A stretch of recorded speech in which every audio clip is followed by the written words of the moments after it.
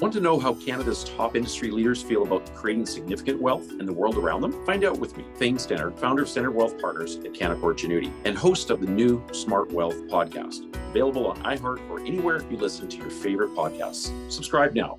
Hello, everybody. My name is Thane Stenner. I'm the host of the BNN Bloomberg Smart Wealth podcast, where I get to interview some of the leading minds in different industries and sectors and I'm with a very special guest here today, David Rosenberg. David, first of all, thank you for taking the time out of your very, always very busy schedule uh, to be with us today. Pleasure to be here. Excellent. And there's going to be lots for us to talk about. For those of you who've been listening to the podcast, uh, David and I had uh, an interview uh, podcast last year around the same time in August and uh, as is usual, David is very forthright with his comments, uh, forecasts, and whatnot. And I think uh, if you haven't listened to him before, you're going to really be in for a treat here today. So, um, with that in mind, I'll start off by by providing a little bit of uh, David's bio uh, to begin with, and then you know give a little bit of background uh, as well around him. So, David is the founder and president of Rosenberg Research an economic and financial market uh, consulting firm, which he established back in January of 2023. So, so first of all, David, last three and a half years, uh, does it feel like uh, since you set up shop, independent shop, things been? Does it feel like three and a half years ago, or or has time flown for you? Oh, it's it's as if nothing happened. yeah, just a little bit of COVID, yeah, and a recession and whatnot. Exactly. Well, prior prior to creating his own company, David was also a chief economist and strategist with Gluskin Sheff and Associates from 2009 to 2019, so roughly 10, 11 years. And prior to that, from 2000 to 2009, he was at Merrill Lynch, uh, where uh, for the first two years, he was the chief Canadian economist and strategist based out of Toronto. And for the last seven years, he was the chief North American economist at Merrill Lynch in New York where he was consistently ranked in the top three of all Wall Street economists polled by the annual institutional investors. And actually, this is where David and I, uh, I think, first met was roughly over 20 years ago when when I was also at Merrill Lynch uh, earlier on in my career. David is also a frequent contributor to most major financial newspapers and publications in North America and makes regular TV appearances in the financial media. He received his both his BA and MA in economics from the University of Toronto. So he's a fellow Canadian based in Toronto these days, but uh, very much with a, a global uh, footprint on, on how he thinks. So, for full disclosure, um, David, uh, his his research of his team, um, we're also a, a subscriber uh, as a, as an investment group, uh, Stenner Wealth Partners here part of CG Wealth Management. And I have to tell you that their research that they publish on a, on a very consistent basis is some of the very best that we get access to on a global basis. So keep up the great work, David and, and team. But uh, there's a piece that I'll refer to uh, as we go through some of the questions. It's called Breakfast with Dave. And I think, Dave, you've had that piece named that for I think it literally goes right back 20 plus years, doesn't it? Well, it changed um, monikers along the way. Uh, I started that mm-hmm. when I was working at the uh, Bank of Montreal back in uh, 1997. Uh, yes. And it was called uh, something uh, a little, shall we say, less sexy or little more boring. I was called uh, well, actually, it was I was called Morning Market Memo uh, because uh, I love alliterations. Uh, gotcha. but you know the the the uh, the folks at Gluskin Sheff they like to uh, jazz things up. So and why not introduce some food into the into the vortex? So um, breakfast with Dave. So actually, I would say breakfast with Dave. that title's been here since 2009. Oh, and fantastic. and I kept the trademark when I started my business. I, I, figured you did. Very smart move on your part. You're a good businessman as well. Well, actually, one of the things I missed saying in your bio is you, uh, Rosenberg Research right now, as an independent research group, you've got something like 2,600 clients, both retail and institutional globally now. Well, it's uh, glad to say it's up to 2,800. Wow. Uh, when when I left Gluskin Sheff in uh, January of 2020, uh, and this was w- one of the benefits of um, having a business within a business because I had 1,600 uh, of my own clients. They were not Gluskin Sheff clients. These are people that did not want money management. Um, they did that on their own. They they wanted um, to have uh, advice given to them. Hmm. So I, I, started the business. I had 1,600 clients. Uh, we're up to 2,800 uh, in just over three years. Wow. And uh, half our clients are institutions, half are private investors. Yep. And uh, we're we're in 40 countries, so we we truly are uh, a uh, a multinational organization. Well, not that big, but we're still yeah. multinational. Absolutely. How many people on the research team these days? Well, in total, I have um, 16 or 17 people. I always wonder should I include myself or not. uh, we uh, we have um, probably uh, I think uh, eight on the research side, and the other call it uh, eight or nine people. You know, we have uh, technology and we have marketing, we have sales, admin, obviously. my son Jacob is the de facto COO. Uh, he doesn't like the word chief in his name, so he's head of operations, but I still call him COO because I'm old school, and I suppose I have a little bit of Larry David in me. uh, so, uh, so in any event, yeah. So it's about I'd say about uh, eight people doing both strategy and economics, and of course, mm. always marrying the two and doing our best to come up with uh, with advice and recommendations on how to navigate through these crazy markets, which are are always crazy. It's always just a matter, a matter of degree. I absolutely agree. And uh, both you and I have been in the business long enough to know that to kind of expect craziness at different times. So, with that in mind, you know, you and I chatted about a year ago, almost to the day, and um, you were very open with your perspectives back then. So, first question for you is, uh, what would you say you from a forecasting perspective that you felt like you got right over the course of the last year from you know August 2022 to to these days? What what are the things that you you'd say yeah we kind of nailed those things?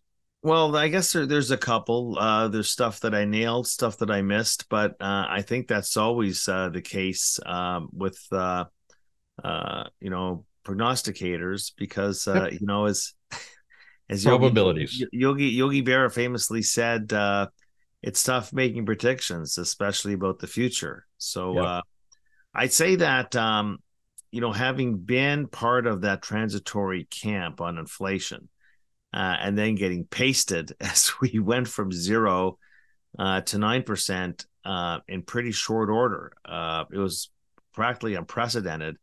Uh, to have four years of price increases uh, just lumped into one year. It's never happened before. Um, and so I'd say that the one call that I got right is, you know, I, I kept on saying that this 9% inflation rate, which was the peak back in June of uh, 2022, that that was not sustainable.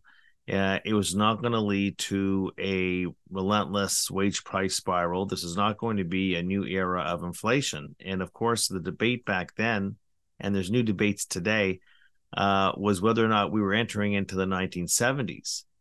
Mm. Uh, you know, to which I said, you know, in the 1970s, we had 9% plus inflation two thirds of the time. That's secular inflation. Mm. We had inflation of 9% for one month. And look what's happened. It's down to 3%. Mm. Uh, hmm. the only other times historically where in a span of a, uh, call it um, uh, just over a year uh, that we've had inflation go down this much. Uh, it's only happened in uh, the uh, mid 70s, the early 80s, and in 2008, 2009. Uh, all were recessionary periods. We haven't even really had the technical recession yet.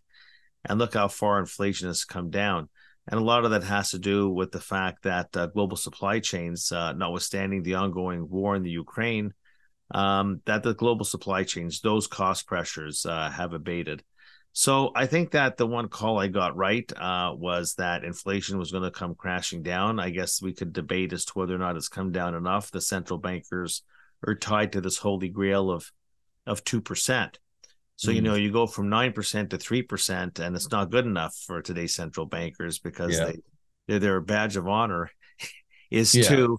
And as Tiff Macklem said, the head of the Bank of Canada, that you know going down to three is one thing. That last leg down to two is going to be a lot tougher, and he's probably not wrong on that. Hmm. So I would say that that is uh, one call that we got right. Uh, the other call is that, uh, and it's I have to say that no, I have not been bullish at all on the U.S. stock market, so I missed out on that.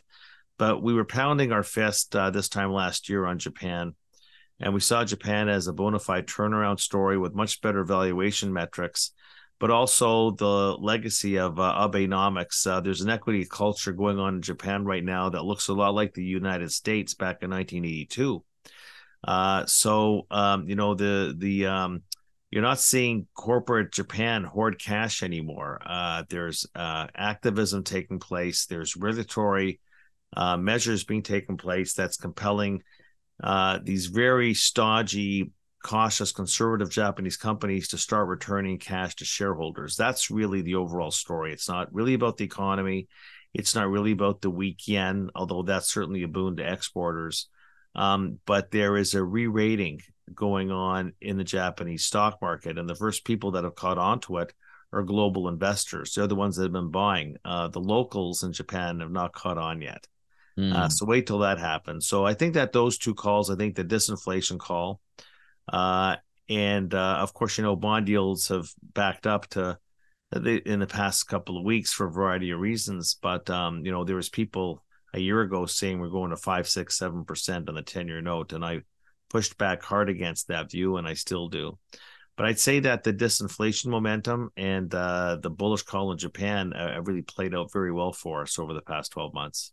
Yeah, excellent. And uh, I think there was also uh, some thoughts around 12 to 18 months, kind of the 10 year US bond yield getting down to maybe two and a quarter. But having said that, uh, sometimes, you know, being early, uh, eventually you're right. And from what I've seen in your research uh, work in the past, it kind of reminds me, reminiscent of uh, the 2007 to 2009 period. So, right are you still in the camp that we're going to have a recession number one? And also um how bad it might it be at this point in, from what you're looking at in the in the data?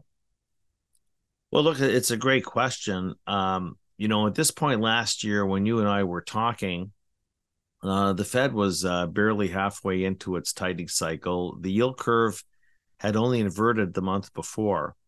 Mm-hmm. uh and it was only in November uh, that the New York Fed's uh, three yield curve recession probability model moved above 70%. You know, so I hear people all the time saying, Where's this recession already? Where's the recession? And all the people that were calling for recession were dead wrong. Um, you know, they they weren't dead wrong. Uh, were they early? Well, I don't remember anybody putting an, exa- an exact timestamp on it. You know, when you and I were having this conversation a year ago, Yep. All I said was, I said, you know, um, there's never been a Fed easing cycle that failed to promote an economic recovery. Nobody ever debates that. Uh, and not every single Fed tightening cycle necessarily leads to a recession. Uh, but we have had um, 14 Fed rate hiking cycles since 1950. And these tightening cycles created the conditions for a recession 11 of those 14 times. So, what I was saying back then, and I'll continue to say today, is you know in this game of trying to help investors out, and uh, now we're in the probability bands and trying to minimize making an error and always focusing on what the risks are. Is that in a Fed tightening cycle, you stand an 80% chance of having a recession sometime thereafter. And we know the lags are long and variable, and other things are happening at the same time. You've got this wonderful U.S. Uh, industrial policy, uh, the CHIPS Act, you had yep. uh, the, the the final leg of the excess savings from all the mm. crazy uh, stimulus checks that were given to the proletariat back in uh, 2021, um, and all that, of course, um, uh, helped thwart uh, the impact of the Fed so far. But it's still it's still early, uh, and the lags between the onset of the Fed tightening cycle, which remember was March of last year, and the recession is usually about two years. Uh, mm. Now, it could be one year, it could be three years. We're just talking about the law of averages, but typically yep. it's about 24 months. So mm. the recession is still out there. We haven't seen the full impact of what the Fed has done. Uh, a lot of the impact was blunted this year by fiscal stimulus that is not going to be repeated in 2024. So I think the jury is still out. I'm I'm just amazed at the number of people that are thrown in the towel. The people that had my view uh, that throw in the towel. I think that they will regret it. It's one thing to say, well, it's taking longer this time. I, I mean, you you talked about, yep. you know, back in 06, 07. Remember, the Fed started tightening in June of 04. Uh, the recession started in December of 07. Everybody was saying the same thing back then. In 06, that's all I lived at at Merrill Lynch. Where's this recession? Where's yep. this recession? Well, well, back then, it wasn't about fiscal policy that you know created the lag to be so mm-hmm. long. Uh, it was those other acronyms. Today's acronym is FOMO for the stock market, but back then, regarding the housing market, it was MEW, it was MU, it was mortgage equity withdrawal and cash out refinancing. So we still had that last leg, that last year uh, back in uh, 06 and 07 before the recession people were still you know breathing the fumes from the uh, previous housing bubble and so we've had the fiscal situation this year that's provided a bit longer of a lifeline for the expansion but i'll just tell you thing that um, uh, i have some hardcore beliefs uh, i believe that interest rates do matter they matter for the economy they matter for financial assets how else do you value anything with a uh, a, a, stream of cash flows if you don't have an idea of where interest rates are. So it's one yeah. thing when interest rates are zero uh, and the mm-hmm. Fed has destroyed the equity risk premium entirely, and you're going to have a Jack in the Beanstalk market rally, even in the context of the height of the COVID back in 2020. Think of the craziness in the economy uh, and in our lives back in March of 2020, and the stock market goes vertical north. Well, of course, shows you the power of interest rates. It's funny thing that when the Fed's cutting rates, um, everybody says, "Don't fight the Fed, don't fight the Fed, don't fight the mm Fed." Uh, but you know, you know, in our business, which is built yep. on optimism at all times, when the Fed's raising rates, nobody says, "Don't fight the Fed."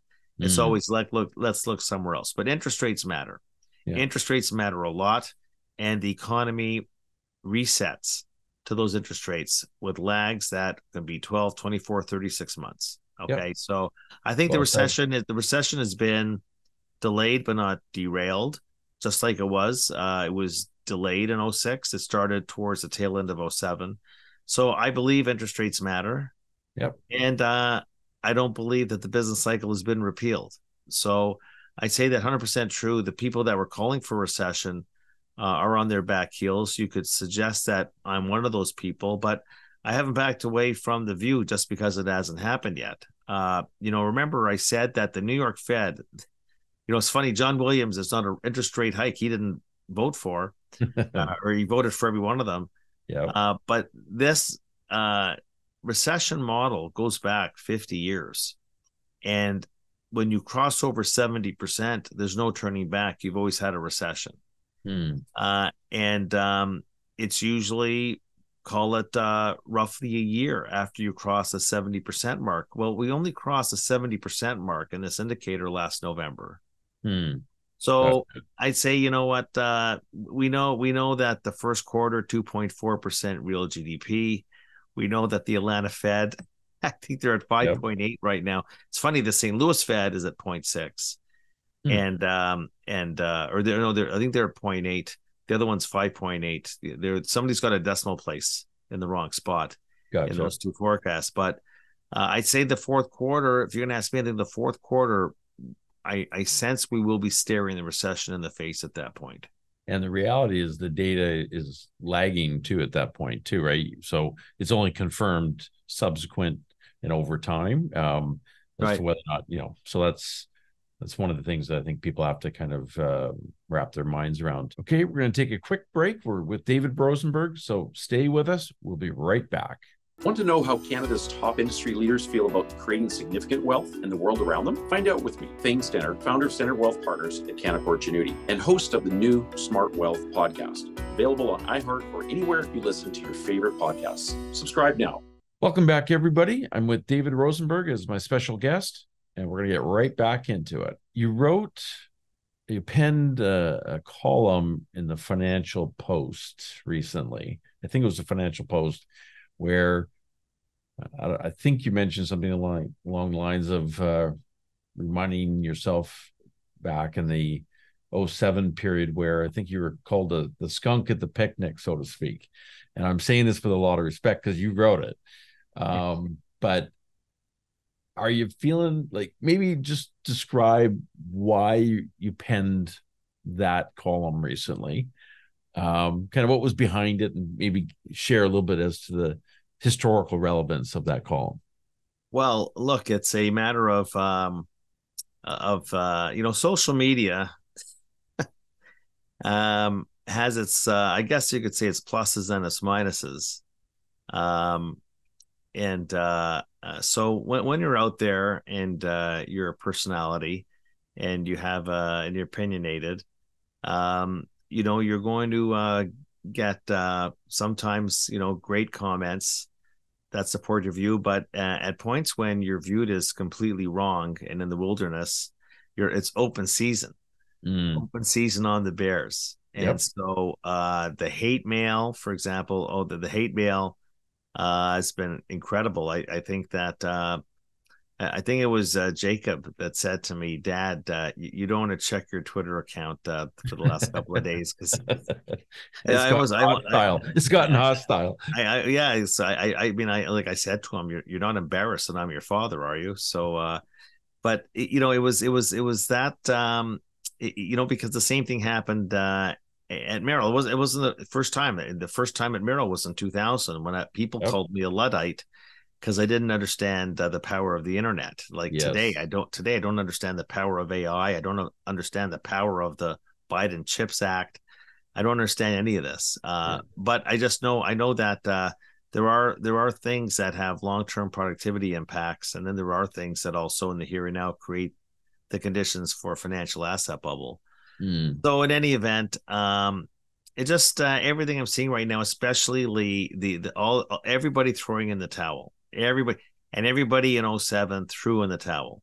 The, the, caution, the, caution, oh, oh, the uh, cautionary towel is what you're saying. The, yeah, uh, the recession towel. I think the yes. only two people left standing were me and Dick Berner, who was chief economist of Morgan Stanley. Every they were still. I mean, uh, their consensus did not stall, start to call for the recession until yeah. Fannie and Freddie went down for the count in yep. conservatorship, and that was in July of 08 even after Bear Stearns went down, soft landing, the consensus was soft landing the whole way through.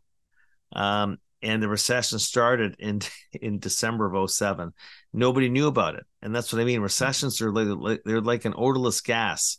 You know, oh, you know, they they catch up on you. Uh, and you're right, you get the you get the revised data. People haven't talked about the fact that non-farm payrolls, the holy grail of all yep. the economic data, Yep. They have been revised down every month this year. The back data have been revised down every month this year by a total of 270,000. So I, I, say to people, you trade, do you understand you are trading off a number on 8:30 in the morning on Friday? That yep. is fictitious. Mm-hmm. Uh, and it's and, and the same thing with GDP. All these things get revised. We've actually been in a recession on GDI, gross domestic income, the actual money that we make, because we've been in a profits recession for the yes. better part of the past year. We've been in an earnings, uh, we've been in a an income recession, but GDP is all about spending. Yep. Uh, and so uh, with the uh, the help of the lagged impact of the uh, of the fiscal stimulus checks and the uh, the binge we've been seeing in terms of uh, credit card usage, hmm. uh, that's created um, the allure of prosperity because we look at GDP, mm. and we always measure the economy based on spending. But if you looked at real income in aggregate, we've mm. actually been in recession, and it's very unusual, by the hmm. way, to have what's called GDP and GDI diverge by as much as it has. So these will hmm. ultimately get reconciled in the national accounts. Gotcha. Uh, so you know, let's just say that um, that uh, I I'm feeling the heat, uh, but uh, I'm uh, to quote Tom Petty, uh, I'm not going to back down, mm-hmm. uh, and I'm going to maintain my resolve because I did that in 2000 when I was called a luddite.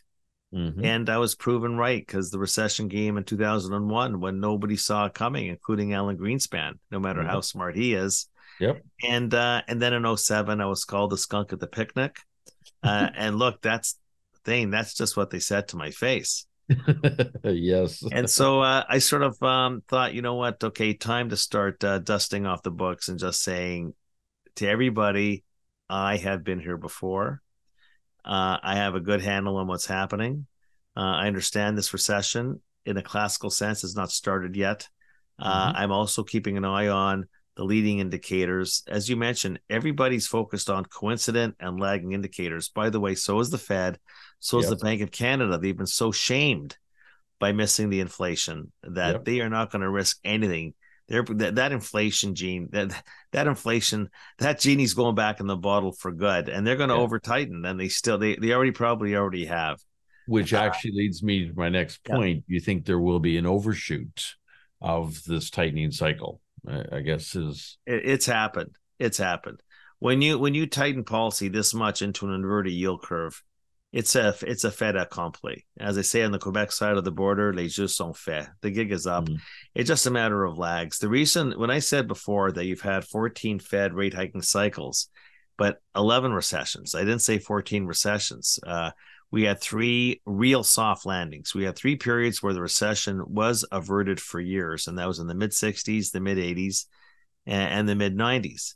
Hmm. Uh, the mid 90s, of course, was that period where uh, Alan Greenspan uh, developed the moniker of uh, the maestro. But you see, what made those three periods special was that the Fed and the Bank Canada stopped hiking rates before the yield curve inverted.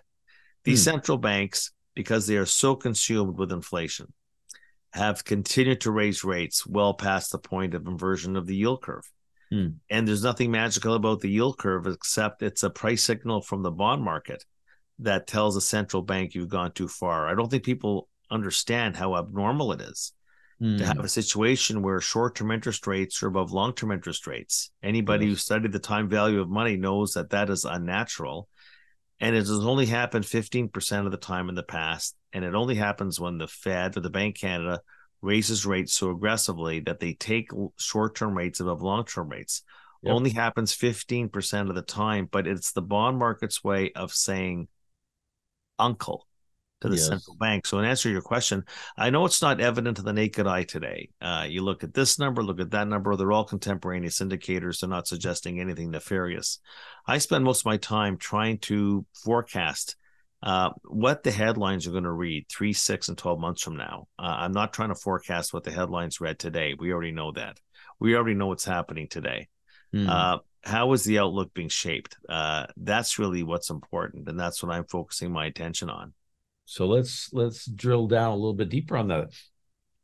Three, six, nine, 12 months. Let's let's just go with 12 months. 12 months from now, what would be some of the headlines that would not surprise you or that you think we'll be reading?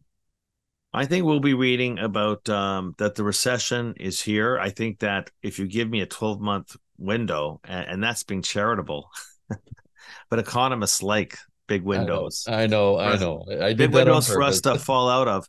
But um, but I, I think that you know, if, if look, if if if the recession doesn't come in a 12 month span, uh, I will write a report saying it is a new era. Interest rates don't matter, and the business cycle has been repealed. And I will be, uh, I I will be um, uh, eating a lot of crow and wiping a lot of egg off my face. Uh, I I think it's a little early to make that assertion, but I think in the next year we'll be writing about rising unemployment.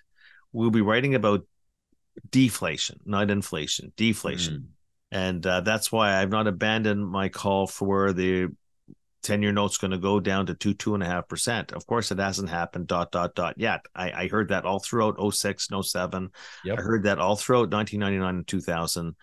You have to sometimes just be patient and maintain some resolve.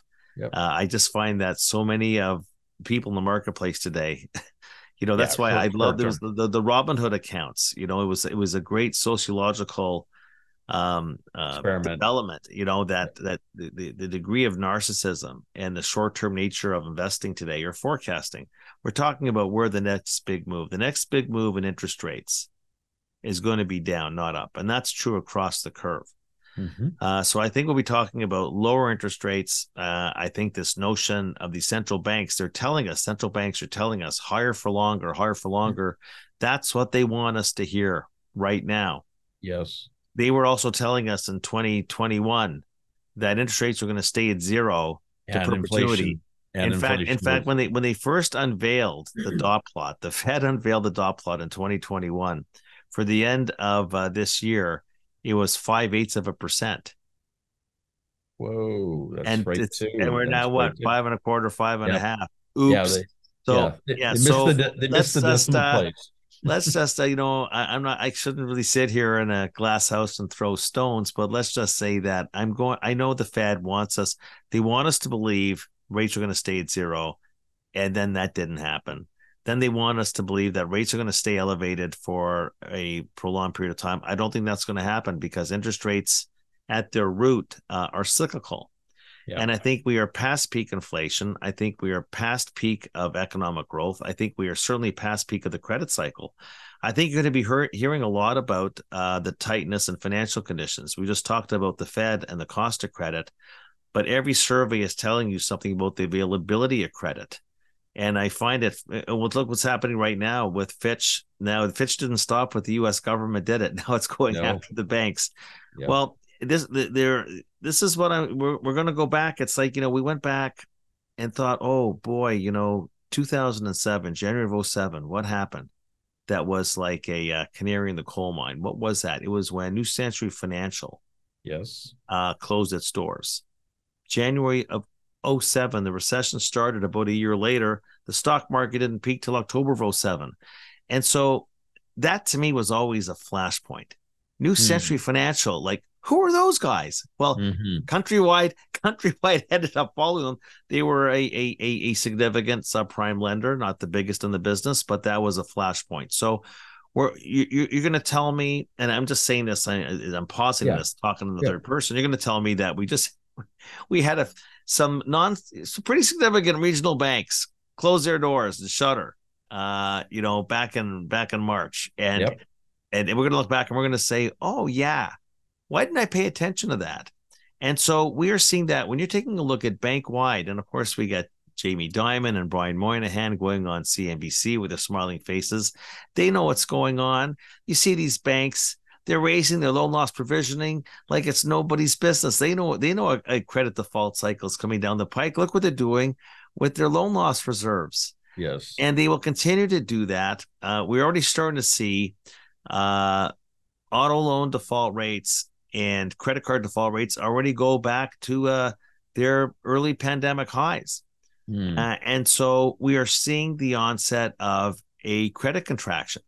And I know it's not showing up right now in the data, but there are lags involved. We have the cost of credit, rates up 500 basis points, and we have the availability of credit. If you're taking a look at bank assets and bank liabilities in the United States, they're running negative year on year. The banks are shrinking their balance sheets. Mm. And nobody's talking about it. So mm. we're going into uh, what will they be writing about? Um, a, a negative credit cycle, default rates going up, uh, recession, rising unemployment, uh, deflation, and the central banks uh, will be cutting rates. Nobody ever thought that they'd be cutting rates in 2007. Well, they did. Nobody ever thought they'd be cutting rates in 01. Well, they did. Nobody ever thought they'd be cutting rates in 1990. Well, they did because yep. interest rates are cyclical. So that's what we'll be talking about. And then we don't know what the geopolitics are going to look like. Uh, the war, you, the Russia Ukraine war is not going away. Uh, what what are the next chapters in that war? What's Putin uh, going to do as he gets painted into a corner? What's happening in China? How does their economic? They're heading into recession. What about China? We haven't talked about China yet, Thane. Yep. Well, how much China now is heading into its credit crunch, and they look like they're going into recession. Uh, everybody talked about global decoupling uh, back when I was at Merrill in 06 and 07 uh, people were saying, well, don't worry if the U.S. goes into recession, we have global decoupling. Look at China. But look, look what happened. There's no such thing as global decoupling. Yep. Back then, it was the world's largest economy that had the reverberating impact around the world. And this time around, it's the second biggest economy. China, what's happening in China right now is very serious. And um, the trade channel implications for the rest of Asia into Europe And then, of course, in the United States, the implications for commodities, which are very negative, and the implications that has for Canada, Canadian profits, uh, the Canadian dollar. What's happening in China, that's going to be making the headlines. It always, it already is, mm. uh, but that story hasn't played out yet, and Agreed. Beijing hasn't come up with a policy solution yet to their property mess uh, and their debt situation, yep. um, which is getting worse. And obviously, that's people were expecting. Look, the story, the story for this year, the Bulls had the story for this year with the China reopening trade. Mm-hmm. Now, part of that's worked because you know that the casinos in Macau have been filled, but yep. um, everything else. I mean, yeah. look at the retail sales numbers. Yep. Uh, look at the manufacturing numbers, uh, and look at the real estate. The housing market there is deflating. So China, to me, if you're asking me that, and then and then of course, um, how is this is going to filter in geopolitically uh, to Xi Jinping, uh, and how would he get the masses? Um, how will they get their minds off the economic problems? And then all of a sudden, you throw Taiwan into the mix, and I don't want to sound like I'm stepping over my bounds as an economist. Uh, you know, I'm a more of a of a keen student on geopolitics, history, but and history. Well, yeah, these are the things. Um, you know, wag the dog yep. uh, that you have to um, be uh, you know be aware of. But I'd say in answer to your question, I think that um, as everybody is focused on inflation, uh, we've gone from nine percent to three percent in the United States. Uh, the numbers in Canada are higher because, of course, when mortgage interest costs are in the CPI in Canada, and yep. mortgage interest costs are up 30% because the bank's raising interest rates. The, the bank is actually creating its own inflation. The numbers in Canada are being inflated because of the way that the CPI is constructed. But we, I, I strongly believe, and again, I am probably crazy early on this call, understood, but I'm always more uh, concentrated on the big calls, the big moves, and the little wiggles along the trend line. I don't care about the wiggles. Let the traders and the technical people worry about the wiggles on the trend line. Yeah. Uh, I think that um, this decline in inflation has not been fully appreciated by the bond market, not fully appreciated by the central banks. And I think as the, de- the deflation, which is this disinflation now becomes deflation, and China is going to be the linchpin for that. And gotcha. that's why I'm very bullish to this day uh, on long Canadas, and I'm very bullish on long Treasuries. We're going to take a quick break right now. Please stay with us, and David Rosenberg will be right back. Want to know how Canada's top industry leaders feel about creating significant wealth in the world around them? Find out with me, Thane Stenner, founder of Stenner Wealth Partners at Canaccord Genuity, and host of the new Smart Wealth podcast, available on iHeart or anywhere you listen to your favorite podcasts. Subscribe now. Welcome back, everybody. I'm here with David Rosenberg. Let's get right back to it. So, I've got three other themes that I kind of want to focus in our discussion on near and dear to people's hearts uh, the real estate market, both in the US and Canada, and maybe juxtapose for our audience around maybe the similarities, but also the differences as to where they're at in the US versus where the Canadian real estate market might be today. Well, you know the the residential real estate markets in both countries uh, up until very recently have been very strong uh, for different reasons. Uh, in Canada, of course, uh, it's been the uh, massive uh, immigration inflows. you know, Canada has amongst the worst fertility and birth rates. We're like right there with Europe or everybody else in the industrialized world, but we made up for it with immigration. And when you have immigrants come in, unlike you know giving birth to a child, you know, you you you give birth to a uh, baby, you put the baby in the crib. The crib already has a roof over its head. Mm. Uh, but when people come in from outside the country, they create uh, housing demand right away. Mm-hmm. And the housing demand in Canada has been uh, phenomenal. And uh, of course, principally in Vancouver and Toronto, because that's where people who come in from outside the country, that's where they want to live. Uh, and so we've had that aspect of it uh, on the demand side. And because of the dearth of construction workers, um, we have been able to keep up on the supply side. I mean, there's other reasons too. You can argue about at the municipal level, zoning restrictions, the provincial level, uh, land use restrictions. But the bottom line is that the supply uh, has uh, not kept up with the demand, and the demand has been demographic and come from immigration. And we can talk about whether that makes sense or not. Uh, but that's what has driven the housing bubble in Canada. Hmm. Uh, and now you have a situation where affordability is out of control because you have higher mortgage rates and you have prices and nosebleed levels, and it's not sustainable. But for whatever reason, in the last few months, you started to see a bit of a thaw on the supply side, and it may finally be thing that the weak hands are starting to have to, um, uh, you know, uh, list their house because you're starting to see for the first time in Toronto and Vancouver new listings coming to the fore. Inventory starting to come back for whatever reason, and you would have thought at some point this had to happen because of the majority of Canadians that um, we were always so conservative taking out five year mortgages, but everybody took out short term mortgages to take advantage of those ultra low rates a couple of years ago. Yep. Uh, and uh, and now they're going to be paying the piper. So I, I still I continue to think that you know we could be in for some trouble here in Canadian residential real estate.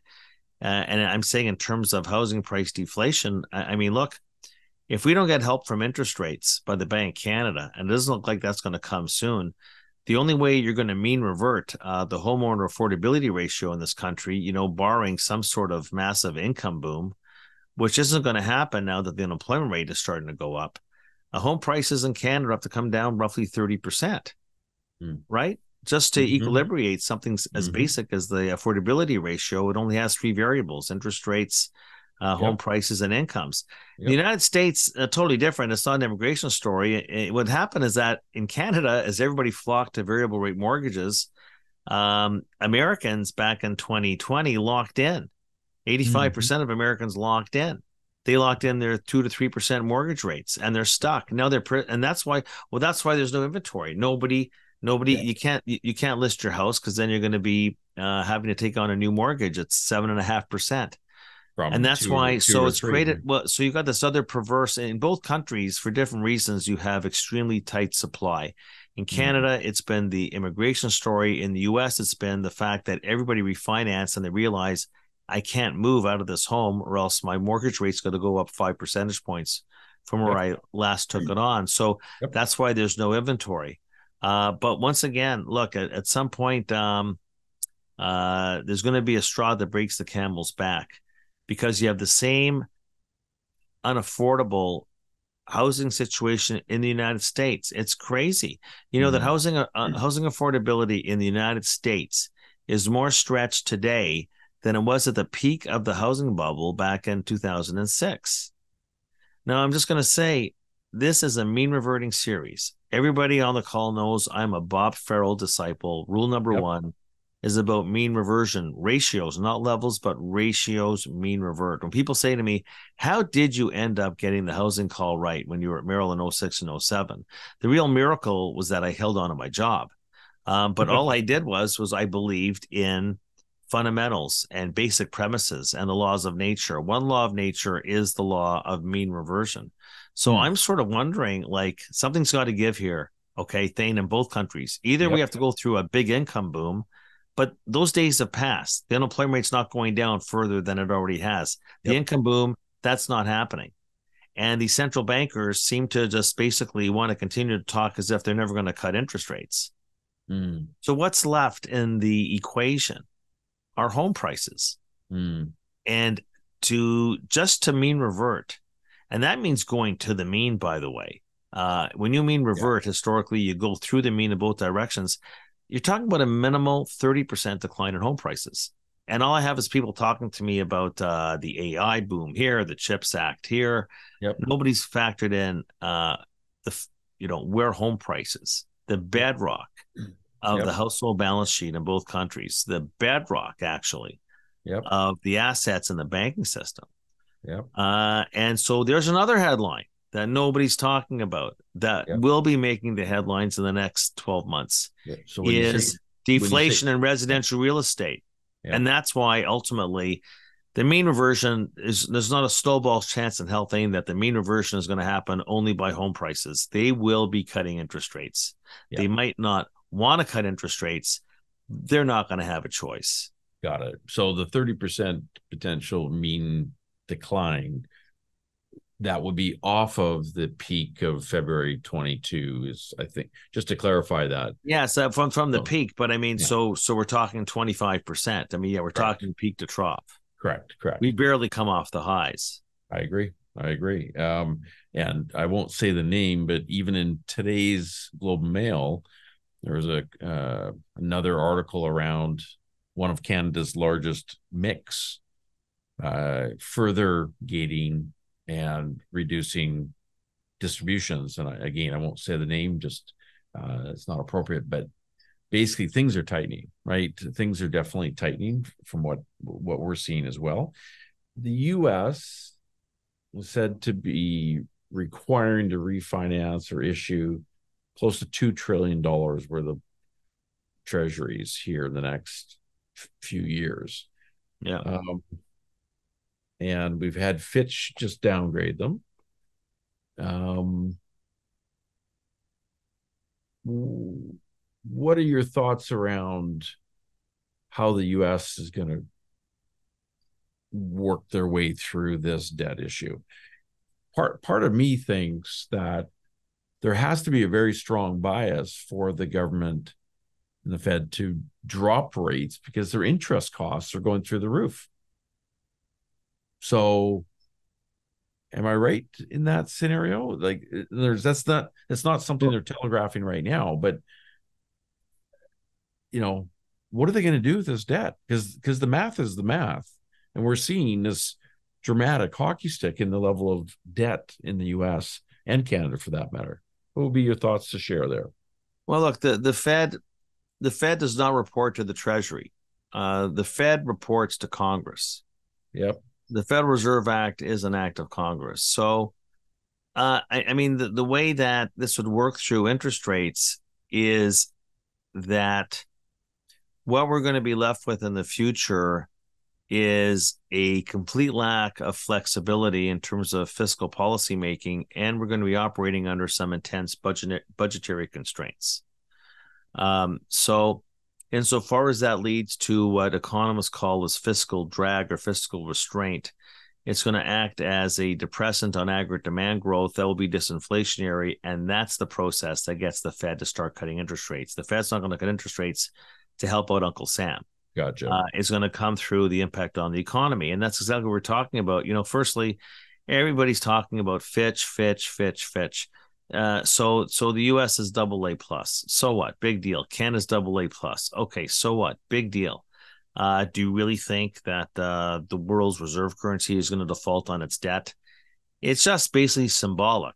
Um, you know, uh, do you remember when uh, the uh, the the U.S. got downgraded um, by uh I by Moody's back in 2011? I mean, yeah. most people don't even remember that. But you see what that did. You see that ended up being a splash of cold water on the fiscal activists in Washington. It dramatically strengthened the Tea Party in the Republican Party, just like what Fitch has done is going to be disinflationary or deflationary because it's now going to embolden uh, the Freedom Caucus mm-hmm. in the Republican Party, and people aren't paying attention. You didn't ask me this part. This this will not be in the paper in the next twelve months, but it will be in the next month. We could be facing a, gov- a partial government shutdown um, by the end of September.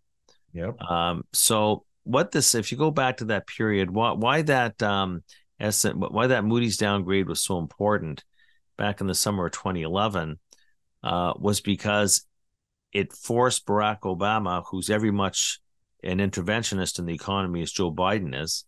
Mm. Um, but remember that there are checks and balances. Um, Obama yep. at that point didn't have full control.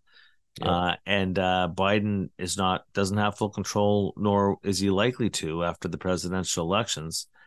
And what happened was that in the summer 2011, uh, the U.S. was running a deficit to GDP ratio of uh, eight percent and in the next five years it went down to 3% mm. and that's huge fiscal drag that kept gdp growth low and uh, it allowed for a huge rally in bonds and the and the fed just basically was out of the picture mm. so uh, and they kept rates at zero through the entire piece so yes. you got to think that if there's any significance from the Fitch situation, the downgrade, which is symbolic, but you know, it was an important symbolic move. Uh, and uh, as you said, the rollover of all this debt, three quarters of the debt rolling over in the next five years, and interest rates that will be higher than they were upon origination means Mhm. that debt service costs. It means that all the revenues coming into the government are going to be siphoned off to pay interest. Yep. That's going to leave less money for fun and games and goods and services. And that's going to be a, a dead weight drag on GDP growth. So while people said to me, well, bond yields went up because of this or that, because of Fitch, um, well, maybe in a static setting, a very knee jerk, myopic reaction, bond yields go up. Uh, I would say if you believe that bond yields went up because of Fitch, you want to be buying those bonds because this will prove to be as disinflationary a, an event as Moody's was 12 years ago. Interesting. So, uh, final question for you, uh, relating this back to the markets, um, how to make money for investors, right? You've you've worked for uh, you know a very large Wall Street firm, uh, very successfully. Uh, Gluskin Sheff, you did a very good job in a leadership role there. If you were handed ten million dollars today, just pick a number. Um, I don't want specific recs because you don't. It's not appropriate. But what would you? How would you be allocating that personally, based upon what's in your head and what you think's coming? Well, Thane, if if I had ten million dollars, I'd buy your love.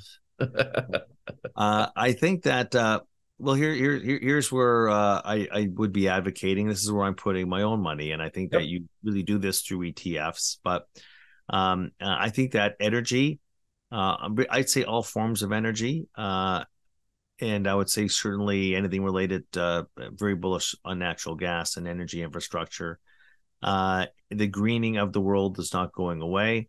Mhm. So I would say that um, that energy ETFs, I'd have a chunk in there.